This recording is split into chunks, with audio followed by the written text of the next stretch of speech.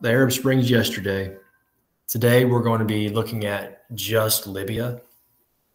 Okay. And uh, remember, yesterday we uh, talked about the assassination of Gaddafi. Okay. Gaddafi was the leader of Libya uh, up until 2000, 2011. Okay. Uh, when he was assassinated. All right. And this creates um, this, you know, obviously space and position for power. Okay, so uh, this power vacuum is created because of this assassination, and then there's this fight for who is going to be the next leader of Libya. All right, and remember, Libya at the time, I mean, and still is not a democracy, so it's not like you know you're you're voted into office. Um, it is normally who is the most powerful and who can, you know, basically gain the most allies to assert themselves as the leader of Libya. Um, so that's what we're going to look at today. All right. Now, before we get into that, all right, uh, we do have a new set of vocabulary terms. So I'm going to share my screen and show you how to get there if you have forgotten how to get to vocab. Okay, so uh, all of us are going to go into Canvas, go into week seven instructions.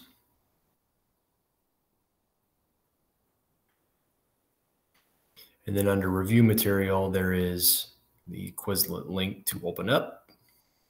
I think there are 25 terms. Okay, this is a new set of vocabulary for you. Uh, you know, we've taken our Africa vocab quiz already. Okay, this is our new set of vocab terms. Okay, some of these we've talked about, some of them we haven't. Um, so some of them are going to be brand new to you. All right, I don't care if you either scroll down through them with the term and definition. Some of them have images to go along with them, right? Or you just use the flashcards. And then you can just use the arrow keys to go through them.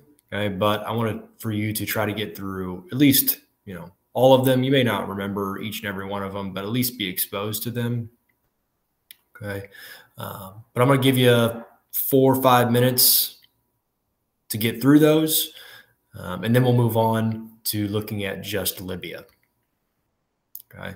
So, uh, four or five minutes, go through your vocabulary, and then we'll come back and uh, continue talking about Libya.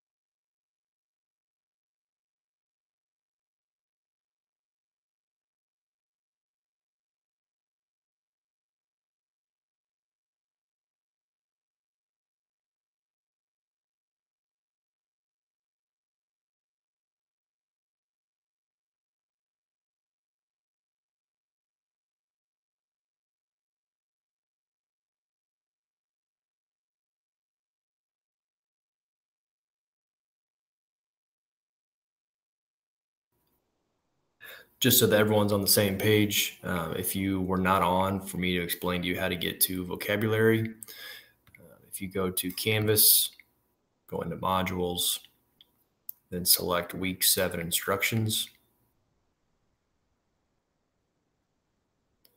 The Quizlet link will be right under review or right next to review material. Just click that. That'll open up here. Then you can go through either the flashcards or just scroll through the terms, reading the term and the definition. Um, get about another minute minute and a half. Um, just try to get through those, you know, become a little bit more uh, familiar with it.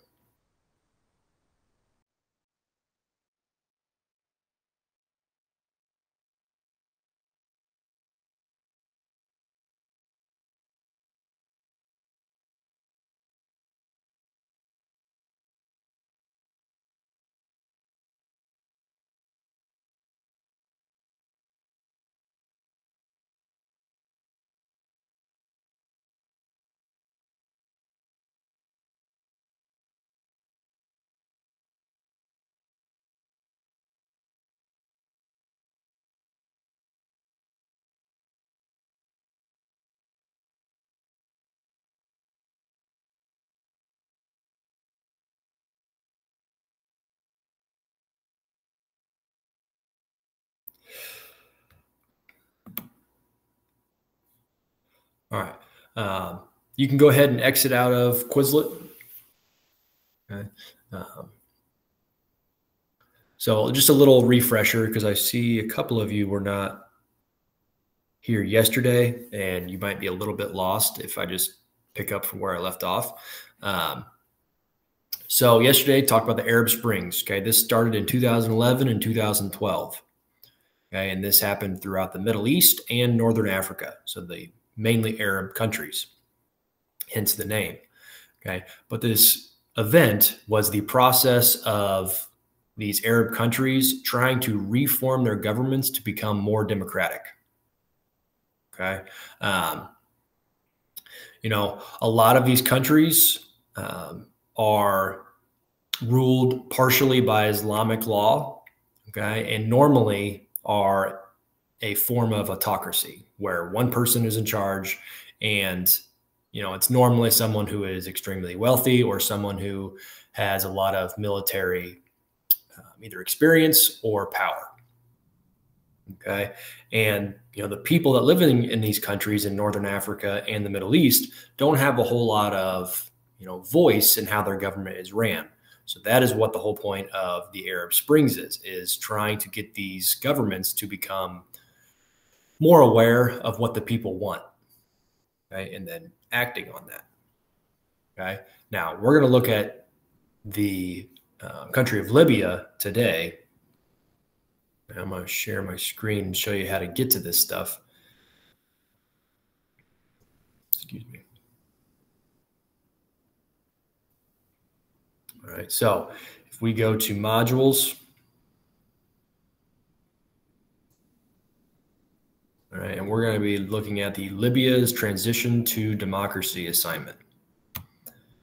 Right, now this is a discussion post, but it's really you're answering a couple questions because they're opinionated questions and then responding to someone. Okay, but before we get to that, you need to open up this PDF document.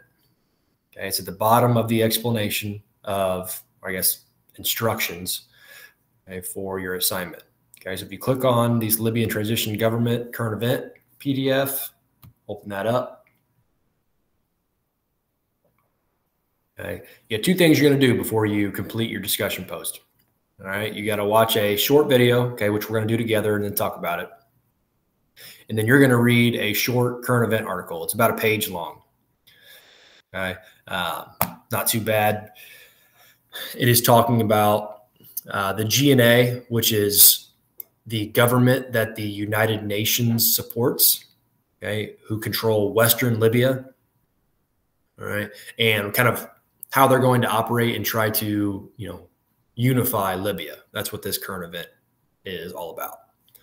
All right, but before we get to that part, um, we're going to watch um, a video over General Haftar, and General Haftar, remember, controls the eastern portion of Libya. Okay, remember we got two different basically governments or powers, however you want to call it, trying to control Libya. So Libya is currently considered a failed state, but there is talks of possibly, you know, um, peace talks or the country working out a deal where Haftar and the GNA can work something out. Now, the issue with that is Haftar's, you know, been known to be very unpredictable so we don't really know how this is all going to work itself out. So a lot of questions still to be answered. But let's go ahead and watch this short video on uh, Haftar and uh, his relations with Libya. So I'm going to do this.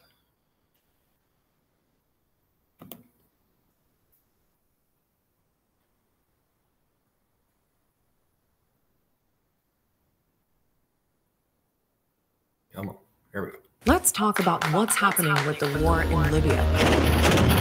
They've been fighting over the capital Tripoli since last April, and now world leaders in Berlin have promised to observe an existing arms embargo that was being ignored. But the permanent ceasefire deal they'd hoped for went nowhere. After Berlin, people will be watching what this renegade general does next. But who is Khalifa Haftar? And what is the battle for Tripoli all about?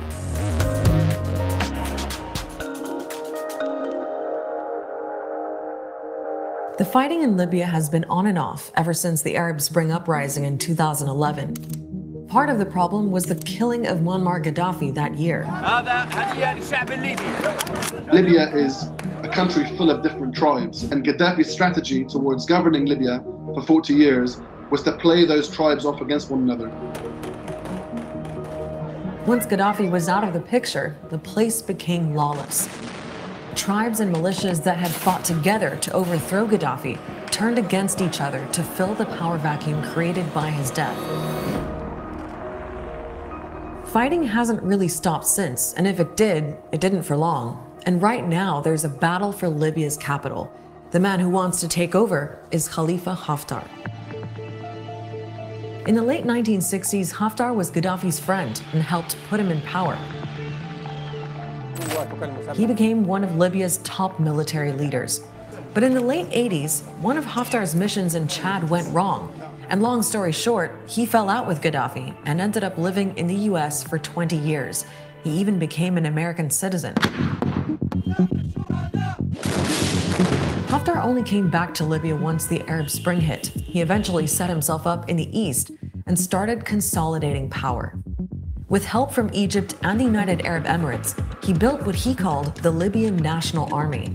It's estimated the LNA has at least 25,000 fighters. Khalifa Haftar's career, as we know him today, really began in July 2013, and his uh, premise was quite simple. What Sisi was for Egypt, he was going to try and be in Libya. He realized that there was a need uh, for a classical, conventional Arab Sunni military figure, with, of course, it goes without saying, an autocratic um, slant to, to it all. One thing that's important in understanding Libya is that it has two rival administrations. Haftar and his forces back one of them, the House of Representatives based in the east in the city of Tobruk. The other is known as the Government of National Accord.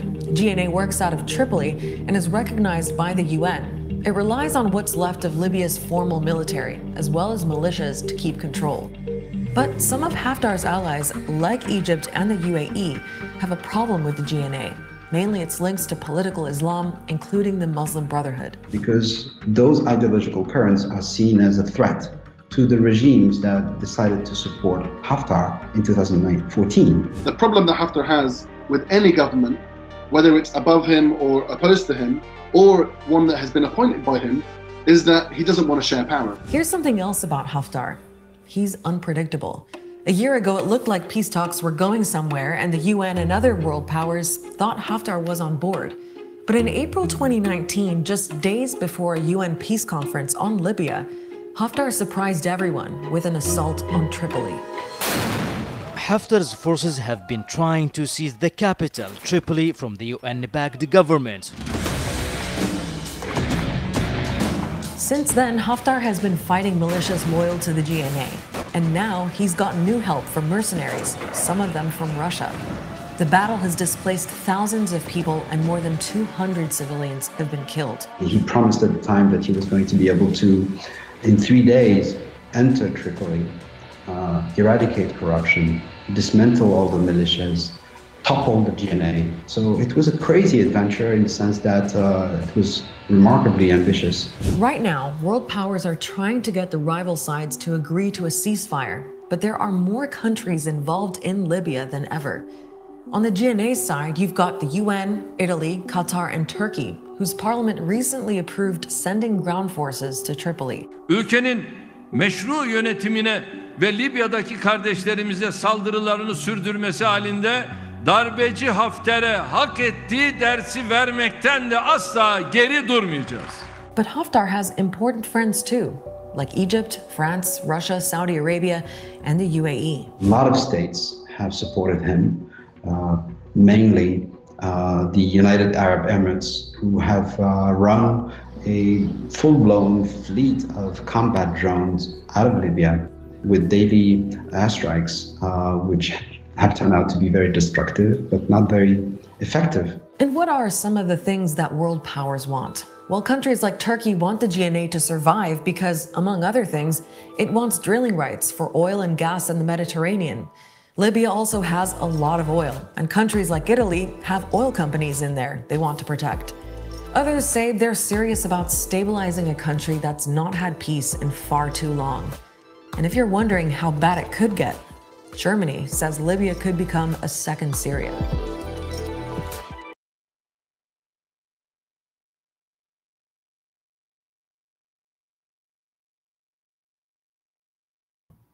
There we go. All right. Now, that last comment of Libya possibly becoming a Syria, now that's a that's a bold statement, but also a very frightening one. Syria, you know, basically still in the middle of a civil war, you know, um, still violence going on in the area. But, you know, their country has been just destroyed because of war, you know, uh, from battling sides. And that's because of foreign influence okay, from influences in Europe, from Russia, okay, um, even the United States. Okay, um, so it's not like you can just blame the country, uh, the people that live within the country. Okay, it is more than anything becoming a international conflict because you have all of these different countries wanting one side to become in power because that would benefit them in the long run financially.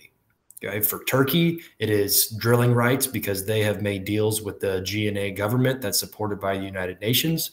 For Russia, it would mean access to um, energy deals um, that they could financially invest in. You know, so it's not like, you know, I hate saying this because it's kind of a pessimistic view, but it's not like these foreign countries have a concerted effort to help the people of Libya. No, they're they're trying to help one side because they can financially gain from it. And that's the problem. And that's why this conflict is, you know, keeps going on and on and on. Because these outside influences, outside countries, you know, want to support one side for the wrong reasons. Okay. It's not for helping the people. It's for financial gain for that particular country. Uh, so that's becoming an issue in every conflict throughout the world. It's not just Libya. Okay. Um, conflict normally is because of one or many or many issues. Okay. But that usually attracts outside support. Okay, one side, one country or another is going to support one side, one country or more is going to support the other. Okay, it's not like you normally just, you know, battle it out between two sides. Okay, you're going to have other factors that go into it. Okay, now the issue that arises from this is was it worth assassinating Gaddafi for Libya to be in this situation? You know, that's the big question. Okay. Was it worth it? Okay. Because right now, you know, you're in a failed state with violence going on throughout the country, open rebellion. You know, was it worth it to try to make the government more democratic? And that's a question I can't answer. You know, uh, that's not my place to answer. But that is a question that many people have asked in Libya. You know, should we have taken part in the Arab Springs? Should we have tried to reform our government? you know that's a that's a tough question to answer. Right. Now let's uh, let's talk about your assignment.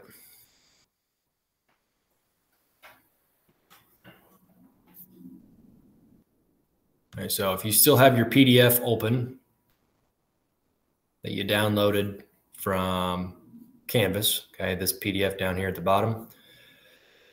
and we just watched the video. We've talked about it. Okay, uh, when I'm done explaining, right, you're going to read this brief article. It's just over a page, not too long of a read. Okay, once you've done that, okay, this article talks about what the GNA, okay, the government that's supported by the United Nations, what their path to unity looks like, right? And you're going to use this information to help you answer this discussion post. Okay, so when you're ready for it, okay, you're going to come down here to reply. What I would do is just copy and paste the questions. Just control C and then control V to paste it in your uh, reply box. Okay. Uh, number one, okay, this is what Libya's effort is all about transitioning from a military dictatorship and autocracy to a dem democracy. Sorry, it was hard for me to talk for some reason right now. Okay, so this is the reason for this question. What is the difference between the two? All right, and I would I would look up the definitions, okay, just so that you're on the same page and make sure that you actually know the definition of each one. Okay, and then you're going to tell me the difference between the two. Okay, it does it does not need to be in a complete sentence. I just want your uh, explanation of how they are different. Okay. Then you're going to move on to number two. Do you think foreign countries should aid in overthrowing another country's leader? Explain why.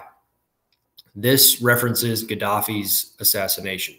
Okay. Because NATO, okay, the North, North Atlantic Treaty Organization, which is, you know, Western countries in Europe and then also including Canada and the United States, right? This group helped assassinate Gaddafi which then created this power vacuum and why we are in this situation today in Libya. All right. So um, the important piece here is make sure you're explaining your opinion. Okay. Why do you think this? Uh, either way, it doesn't matter to me on do you think um, a country should help overthrow another country's leader? All right. You tell me. All right. But make sure you explain why. Number three, other than murder, okay, we know that assassination is, you know, not the not a moral thing to do. Okay. So why does assassinating a country's leader create more problems for the nation? Okay. So we've talked a lot about this, but why does, you know, all of a sudden a a leader all of a sudden gone, what other problems does it create? Okay. And then number four, why do you think there are foreign countries sending their own troops and equipment into Libya? Okay, we talked about this a little bit after the video, but you have to put it in your own words.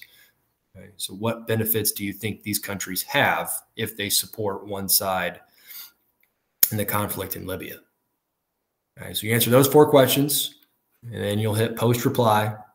Once you posted, all right, then you will respond to a, another student's post. Okay what you're going to do, okay, for two points, all right, you'll read their post and find one thing that you agree on or disagree on and respond on the differences or similarity. Okay, so basically find something that you agree with or disagree with and then reply to that student. Okay, be, re be respectful, obviously, um, but like be, tell, tell me why. Like solid statement that doesn't, that's, that doesn't tell me anything. Elizabeth says, I agree with what you said. What do you agree with? You know, be more specific. They're not going to get full credit for that uh, because they didn't, they weren't specific in what they were agreeing with. Okay. Um,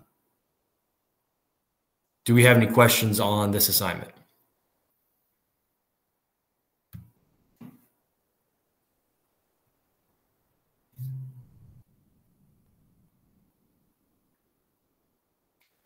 Okay. If there are no questions, all right, uh, I would complete this assignment. And then if you have extra time, I would check for any missing assignments and work on those.